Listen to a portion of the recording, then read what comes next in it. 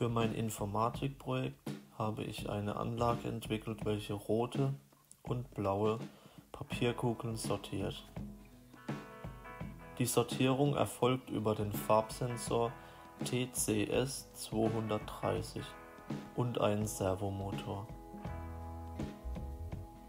Die Anlage soll rote und blaue Farben erkennen.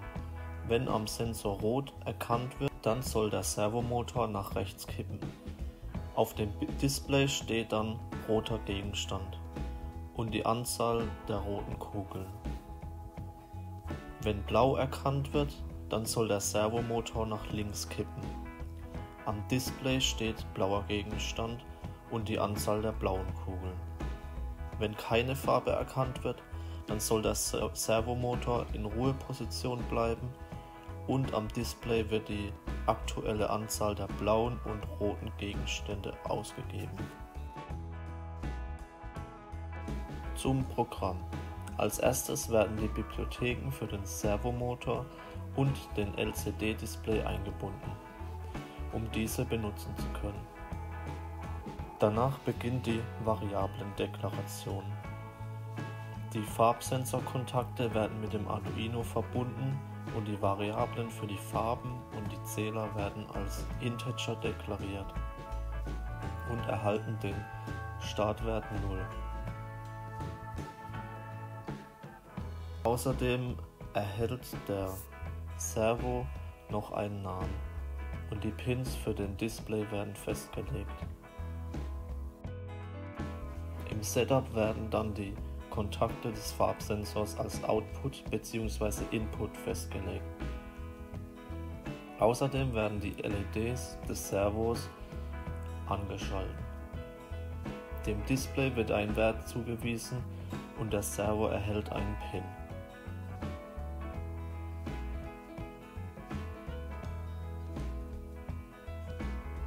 Der serielle Monitor wird für Testzwecke und zur Überprüfung eingebunden.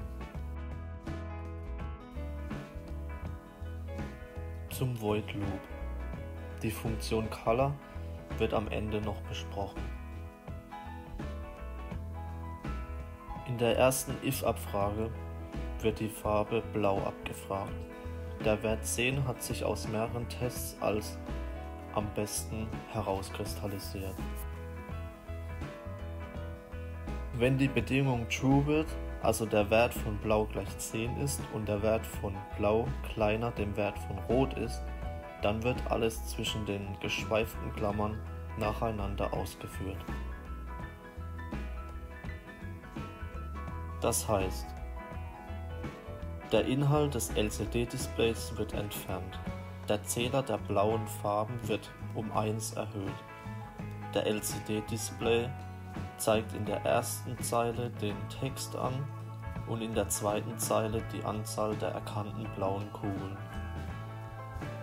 Der Servo kippt nach links auf 60 Grad.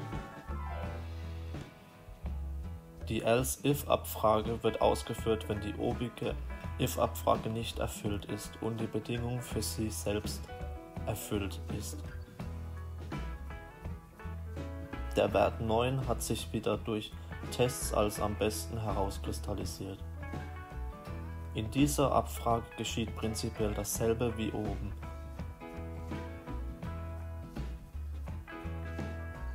Es bezieht sich allerdings alles auf einen roten Gegenstand und der Servo dreht in die andere Richtung.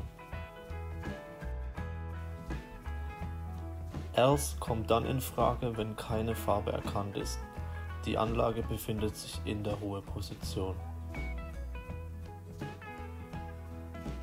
Als letztes wird die oben schon genannte Color-Funktion weiter ausgeführt.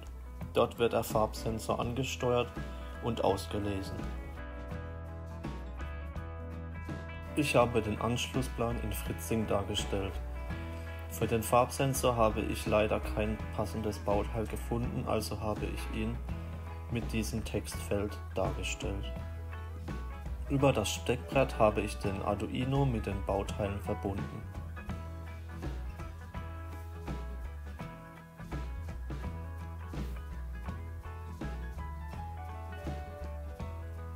Der LCD-Display ist zusätzlich mit einem Potentiometer verbunden. Über diesen kann der Kontrast des Displays eingestellt werden.